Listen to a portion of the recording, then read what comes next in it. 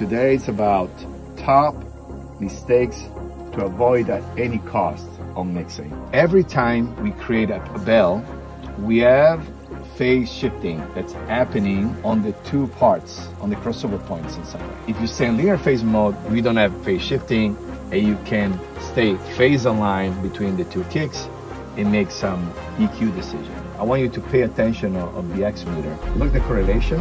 I'm getting close to negative. When you get it close to negative, you're literally out of phase. If this was a vinyl, the needle will skip.